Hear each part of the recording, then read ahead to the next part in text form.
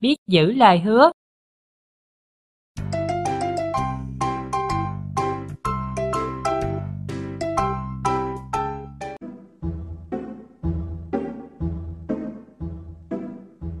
Bà ngoại Na bị bệnh, nên mẹ phải vào bệnh viện chăm bà. Nhìn mẹ lo lắng và có vẻ sốt ruột nhiều lắm. Trước khi đi, mẹ dặn Na. còn ở nhà chơi đừng đi đâu nha. Mẹ phải vào bệnh viện với bà ngoại. Nếu bà con gọi điện về, thì con dặn bà vào bệnh viện ngay nhé.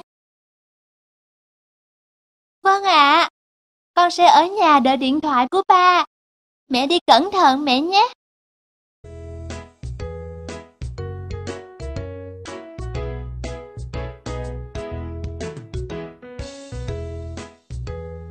Khóa cổng lại, Na đi vào trong nhà với một tâm trạng không vui.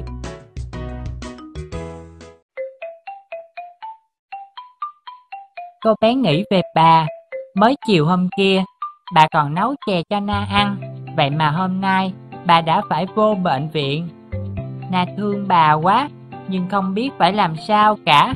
Na nghĩ, Hay là mình sẽ vẽ chân dung của bà nhỉ? Ngày mai mình sẽ xin ba mẹ mang bức tranh vào bệnh viện tặng bà, bà sẽ mau khỏe. Thế là Na vào bàn ngồi say sưa với ý tưởng của mình. Cô bé vẽ khuôn mặt bà hiền từ với nhiều nếp nhăn và một mái tóc trắng phao, được vấn lên đầu gọn gàng.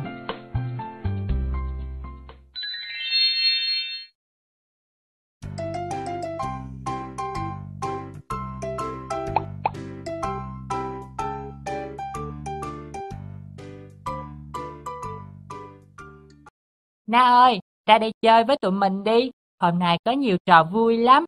Tụi mình sẽ chơi trò chơi mèo đuổi chuột, vui ơi là vui. Sau đó, bọn mình sang nhà bạn Mạnh ăn bánh quy. Mẹ bạn ấy làm ngon lắm. Na rất thích thú. Cô bé rất hào hứng mỗi khi các bạn rủ đi chơi.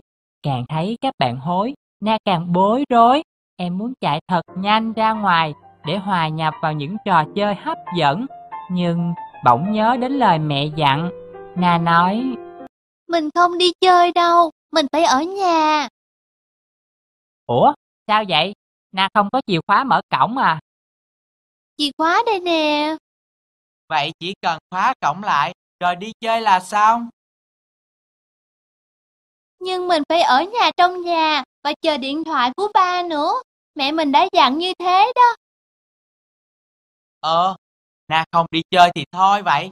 Tụi mình đi trước đây.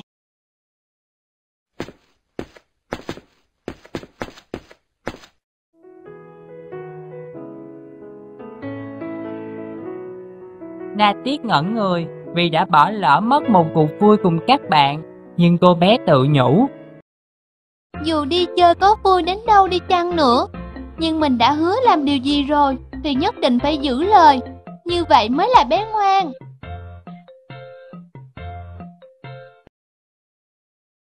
Các bạn yêu quý, từ xưa cha ông ta đã dạy rằng nói lời phải giữ lấy lời, đừng như con bướm đậu rồi lại bay. Điều ấy nhắc nhở mỗi người chúng ta, khi đã hứa với ai điều gì đó thì nhất định phải giữ lời. Giống như bạn Na trong truyện chúng mình vừa xem đấy. Hãy học tập Na bạn nha. Khi đã hứa hẹn với ai điều gì đó thì nên giữ lời hứa. Đừng vì lý do này hay lý do khác mà quên đi lời hứa của mình. Người biết giữ lời hứa sẽ được mọi người xung quanh tin yêu và quý mến. Hôm nay là sinh nhật Mimi. Mẹ muốn dành cho em một niềm vui bất ngờ nên mẹ đã chuẩn bị một món quà bí mật. Mẹ nói, Hôm nay là sinh nhật con gái rồi. Mẹ có một món quà dành cho con đây.